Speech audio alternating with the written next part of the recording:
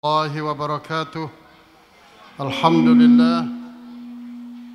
والصلاة والسلام على رسول الله وعلى آله وصحبه ومن اتبع هداه Pada yang saya hormati pengurusi ahli jabatan kuasa yang uh, menjayakan program Malaning barisan penceramah Hai Pak dan muslimin muslimat yang dirahmati Allah sekalian พี่น้องครับ เมื่อตะกี้นี่เป็นแค่การแสดง แต่ผมเชื่อว่าหลายๆคนเนี่ยอาจจะกลั้นน้ำตาไม่อยู่ แต่พี่น้องไปลองไปจินตนาการดูว่า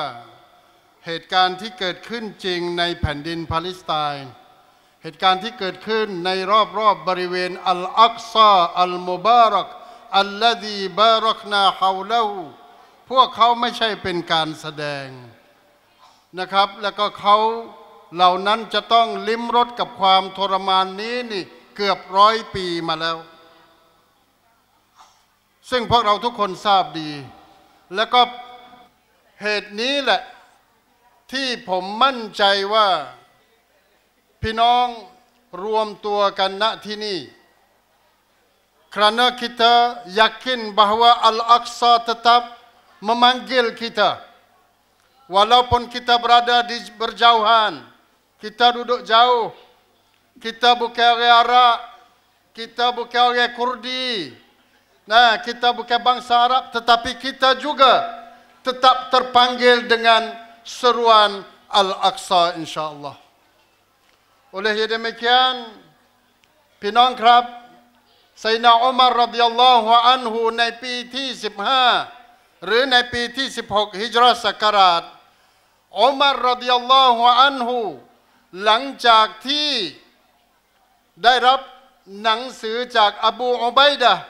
เบนอัลจารราห์บอกว่า โอ้คอลิฟะตุลมุสลิมีนชาวฟาลสตีน นะครับ ชาวพลเมืองปาเลสไตน์ที่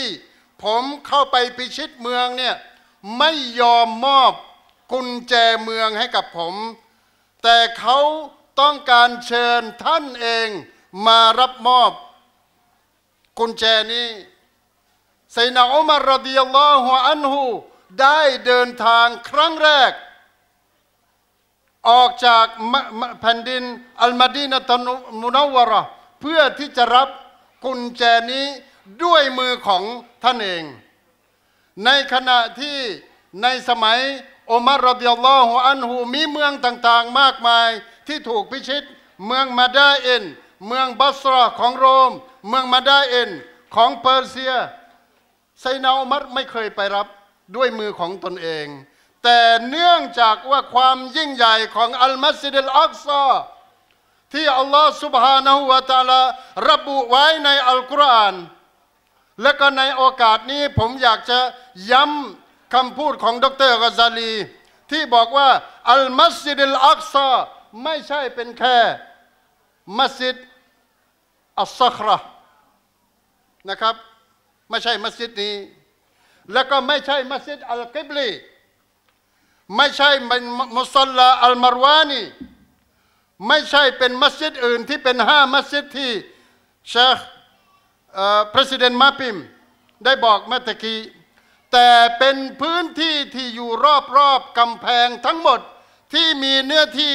ประมาณ 90 ไร่ 39 ไร่สลวัส144 ribu meter persegi inilah dikatakan Al Masjidil Aqsa.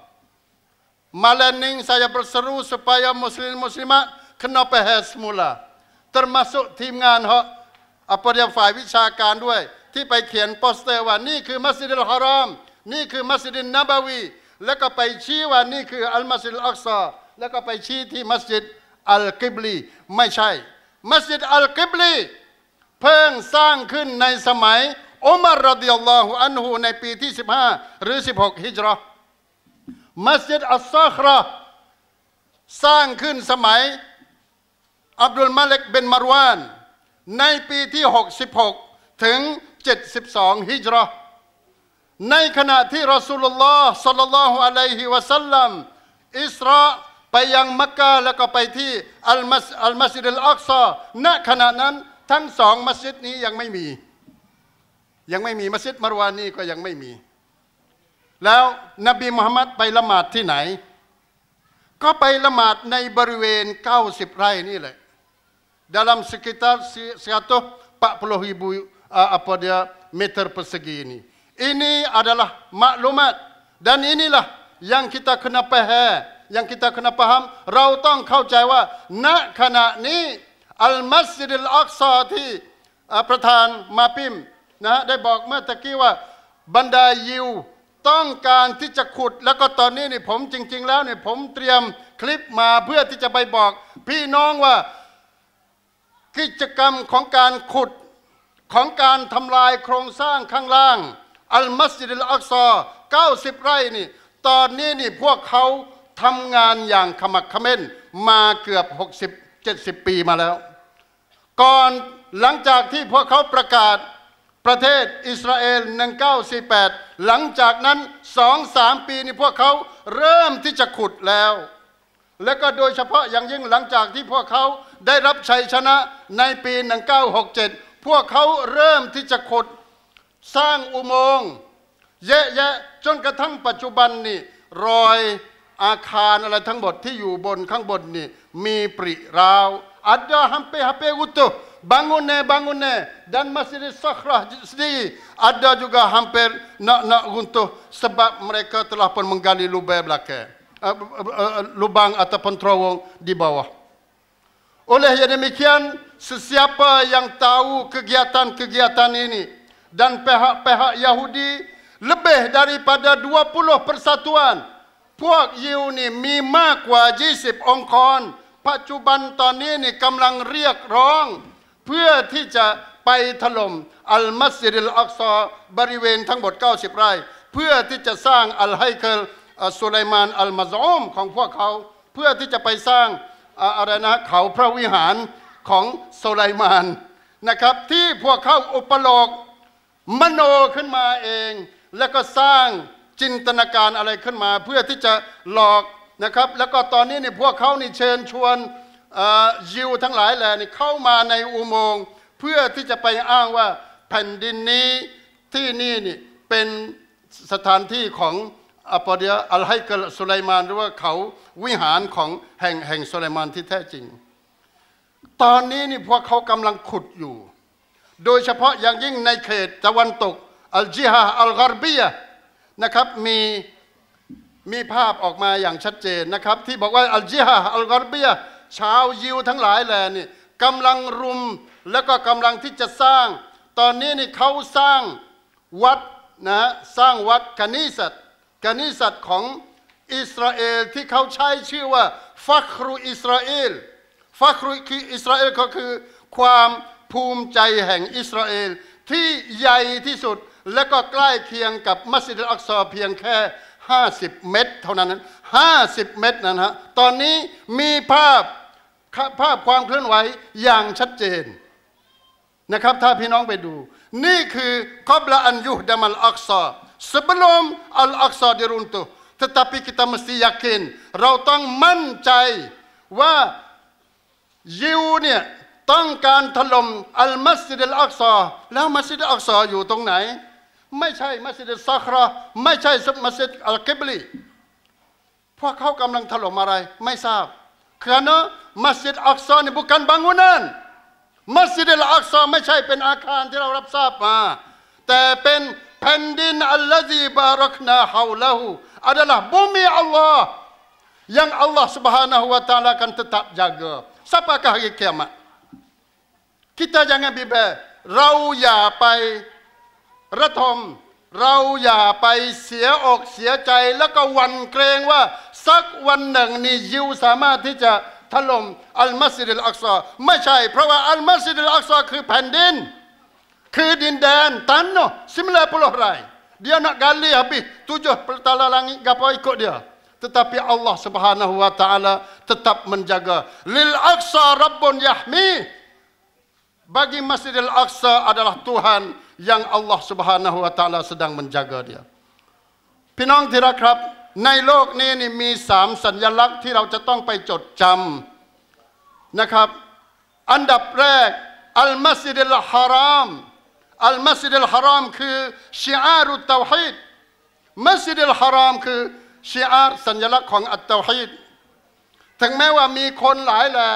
ทั่วโลกจะไปประนามจะไปดูถูกจะไปใส่ร้าย ว่ามักกะนี่เป็นดินแดนแห่งชิริก กาเฟรดอลาลอิหม่ามของมัสยิดลฮารามเราไม่สามารถที่จะตามได้ เพราะว่ายึดถืออะไรนะศาสนาอะไรก็ว่าไปว่าฮบีอะไรก็แล้วแต่ kita tak boleh nak ikut tetapi walaupun sedunia mengatakan bahawa Makkah Mukarramah adalah dalal sesat tetapi Allah SWT tetap menjamin bahawa Makkah Mukarramah akan tetap menjadi syiar tauhid manakala Al-Masjidun Nabawi di Madinah merupakan syiar sunnah เป็นสัญลักษณ์ของการปฏิบัติสุนนะที่นบีมุฮัมมัดสุลลัลลอฮุอะลัยฮิวะสัลลัมประยุกต์ใช้ตั้งแต่สิ่งเล็กๆที่สุด จนกระทั่งสุนนะที่ยิ่งใหญ่ในการบริหารจัดการประเทศและก็บ้านเมือง แต่มีสามมัสยิดที่สามอัลมัสยิดอัลอักซาที่เราละหมาดหนึ่งรักอัตตรงนั้น จะมีความประเสริฐยิ่งกว่าห้าร้อยตามฮะดิษหนึ่งมีฮะดิษหนึ่งบอกว่าหนึ่งพันและก็ฮะดิษที่สาฮะที่สุดที่สาฮะโดยเชคอัลบานีบอกว่า 250, 250. Tak kira lah 250 ataupun 500 ataupun 1000. Itu adalah kelebihan Al-Aqsa. Dan Al-Aqsa, si pertama yang disebutkan oleh Ikhwah adalah Ardur Ribat Wal Jihad. Walaupun seluruh manusia di atas muka bumi ini ingin membasmikan semangat Al-Aqsa, lok tang lok ni, pakan rum เพื่อที่จะลบเลือนคำว่าอัลมัสยิดอัลอักซอพยายามที่จะลบคำว่าอัลริบาตแต่อัลมัสยิดอัลอักซอก็สามารถที่จะยืนยัน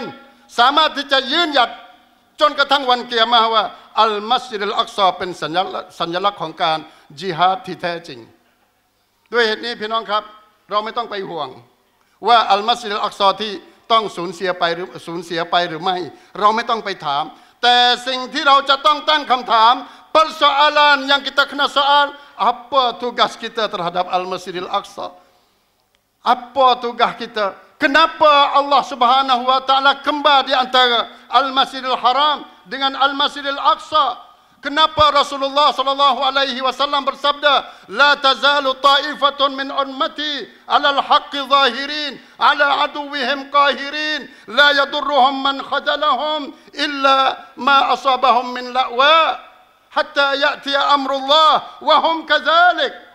Aina hum? Ya Rasulullah, sahabat bertanya dengan sikap ini, maka Rasulullah menjawab, "Fi Baitil Maqdis." au bi fi aknafi Baitul Maqdis. Mereka yang akan tidak dikalah oleh musuh-musuh Islam sampai ke hari kiamat จะยั่งยืนตลอดไปแล้วก็จะต่อสู้จิฮาดเพื่อซาบิลิลลาห์นี่พวกเขาจะยืนหยัดจนกระทั่งวันเกียรมาลาตาซาลู akan sentiasa berada satu golongan yang sentiasa berpegang tegak di atas kebenaran mereka ini adalah berada di Baitul Maqdis Mereka ini berada di penjuru-penjuru ti rop-rop beriwen Al-Baitul Maqdis คนที่ปกป้องอัลมัสยิดอัลอักซอคือคนดี คือบรรดานบี คือบรรดาซาเลฮีนคือลูกหลานของซาลาฮุดีนอัลอายูบีคนที่ปกป้อง ในขณะที่คนที่จะมาทำลายอัลอักซอก็คือยิวของเขาคือบรรดามุสลิกีน ภาพเหล่านี้จะปรากฏมาในทุกยุคทุกสมัยนะครับ ถึงแม้ว่า หลายหลายคนนี่จะไปร่วมประนามว่าคนที่ปกป้องอัลมัสยิดอักซอในปัจจุบันเนี่ยเป็นคนก่อการร้าย คุณต่างหากที่เป็นก่อการร้ายนะครับ ไม่ใช่ใครที่อื่นนะครับ และด้วยเหตุนี้ผมอยากจะยืนยันอีกครั้งหนึ่งว่า แล้วก็อยากจะสนับสน,บสนุนบรรดาพี่น้องที่ได้พูดมาเมื่อกี้ว่า เรามีความจำเป็น kita mesti apa lebih daripada doa kita untuk kita nak mengatakan sesuatu kepada Al-Masjidil Aqsa. Semoga kita semua ini diberi peluang oleh Allah SWT supaya bersalat di sana dan Allah Subhanahu Wa Taala memperbebaskan Al-Masjidil Aqsa daripada di uh, apa dia kejar dan diperintah uh, oleh uh, apa dia uh, al-yahud laknatullah alaih wallahu al-muwaffiq wal hadi ila sawa'is sabil assalamu alaikum warahmatullahi wabarakatuh